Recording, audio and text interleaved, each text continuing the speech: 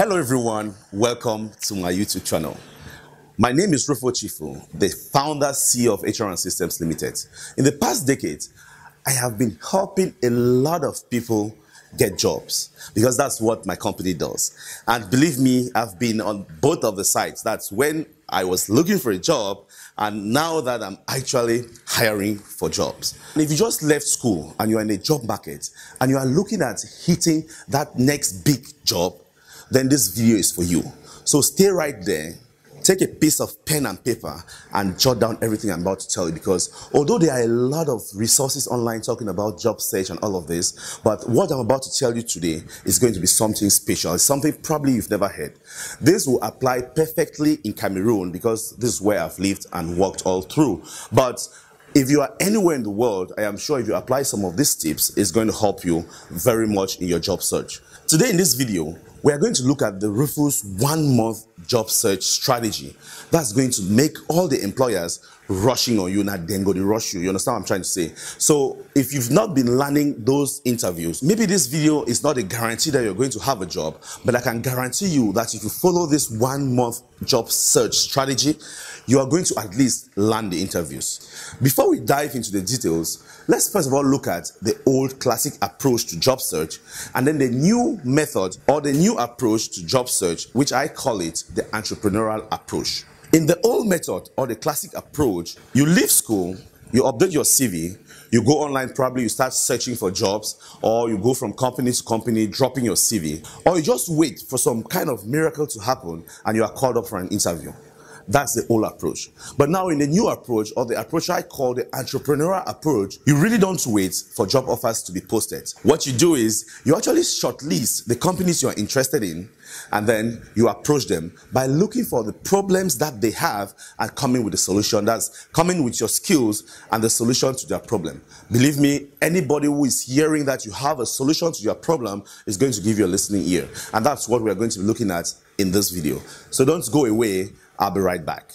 Welcome to Business Tips, the place where successful entrepreneurs come to get inspired.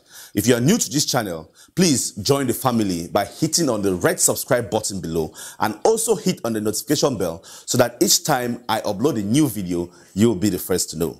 Without wasting much of your time, Let's run. Welcome back. Now, if you follow the five steps to my approach to getting a job, I can guarantee you that you are going to land the interviews. And the first thing, or number one step, is you need to up your game. Now, when I say up your game, what do I actually mean? Upping your game involves two things. The first, you need to add an additional skills to what you already have. That's going to put you ahead of competition and to all the other masses that are looking for the same job that you are looking for. And then the second thing is you need to add some experience. Now, let me break it down for you so they can understand. I'll give you my example because when I was looking for a job as an accountant, I took just three months. And the good thing is all these courses are kind of like free or you just take a very short time to get additional skills. I took three months to actually learn Oracle, that's database and systems, to add to my accounting skills. So that gave me the advantage of anywhere I went to looking for a job. So if you're an accountant or you're a marketer, you can learn editing skills or digital marketing. Or you, if you if you're looking for a job as a journalist, you can actually learn like editing or video production and add to that. So any employer looking at you will actually know that you know what you're doing and you are going to be ahead of all your peers who are in the same place looking for that job. So take some time, three months, six months, they are online, it's free, it's everywhere. Take some time to add an additional skills to what you've already acquired in school. And then another thing that a lot of employers look at is your job experience. Now, People will say, How do I get experience when I'm not hired? See, if you're leaving school, you are not a finished product. You need to gain some experience by offering your services free of charge. Take one year, two years just by serving for free. That's the fastest way you can gain experience. And if you go to any company and tell them, Hey, I want to offer my services to you for free, believe me, everybody is going to accept and you're going to have the right experience to kickstart your job career. Now, number two, every job offer needs a different modified CV. I mean, I've just been wondering all through when I read through CVs. I can tell you this I've been able to review a lot of CVs, you know, in all my career in the past decade. And I see a CV which does not even match the job offer. How can you be using the same CV to apply for 50 different jobs? It doesn't work nowadays. For every job offer that you come across, you need to modify your CV to actually suit that job offer. Nobody is going to hire you if a job offer actually states the job description and none of those things in the job description appear on your CV. I mean, nowadays, who is going to hire you? You are not even going to be shortlisted. Now, when you are modifying your CV to suit a job offer, it's not actually as if you are lying. You are simply just making your CV appealing to the recruitment manager. It is important to do what we call the key phrase or the keywords matching. This means that carefully study the job offer, select the keywords in which the employer is looking at, and then ensure that those keywords appear on your CV, under probably the competence section of your CV. By the time the recruitment manager picks up your CV, they are going to know exactly that you are the best fit for that job. So that goes to say that for every job offer that you come across, you must update your CV to fit that job offer. Point three on this strategy is stop selling your CV and start selling your skills.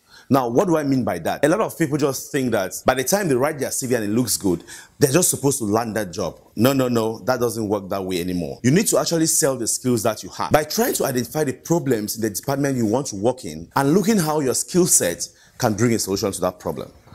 I'll give you an example on how you can go about it. This is just an example, depending on the field and where you are. If you're an accountant and you want to work for, say, Guinness Cameroon or Orange or MTN Cameroon in the finance department, do your homework by looking at who is the finance director in those companies. What kind of problems can they be having? Are they having issues in AR, accounts payable, general ledger, or whatever in the department? What kind of issues are they having?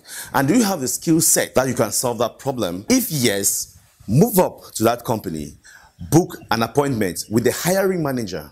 I precise here hiring manager, not the recruitment manager.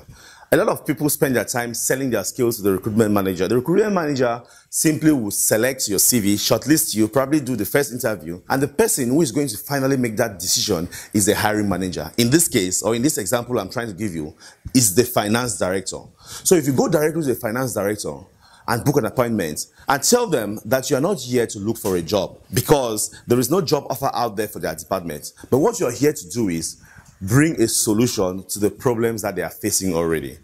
And if you were able to do your homework properly to identify what that kind of problem might be and you bring a proper solution to that, believe me, that's already a step ahead of the competition. If he is not hiring immediately, anytime a job opportunity in that area comes up in his department, you'll be the first person that he's going to think about. And that gives you an advantage over every other competitor that's vying in for that same position in that company. Number four, clean your social media accounts. I see a lot of people who are looking for jobs post just whatever they want to post on their social media accounts. But let me tell you this all employers nowadays or everybody who is trying to hire somebody will profile you on social media before actually hiring you because they want to know the kind of person they're hiring, right? It's true your social media account is your private life, but it plays a role in that job you're looking for.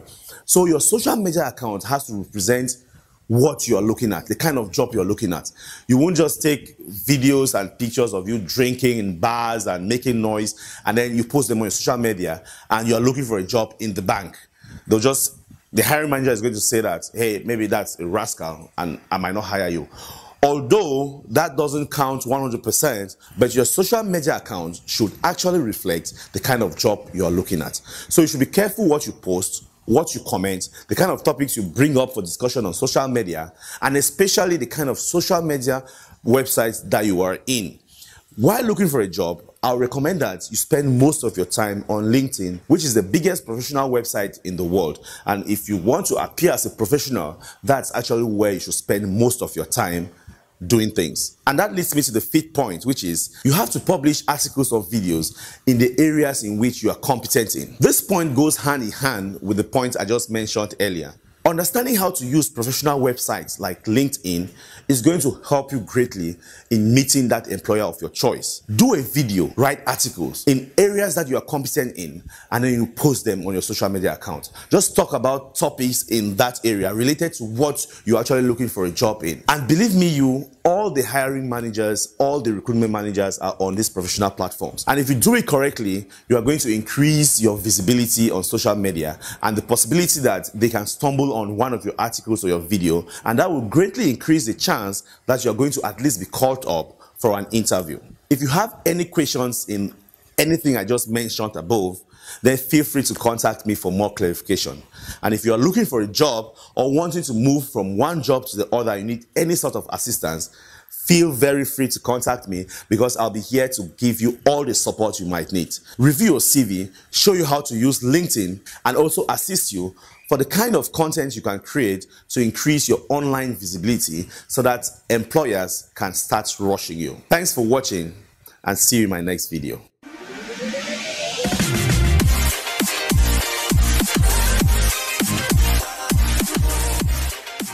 Hi, my name is Rofo Chifu and you're welcome to HR Systems Limited. Do you intend to invest in Cameroon or in Africa? Then contact us at HR Systems Limited for your professional business plan writing, business feasibility studies, investment viability checks, and company formation services. My team and I are willing to move from Cameroon to any part of Africa just to set up your business.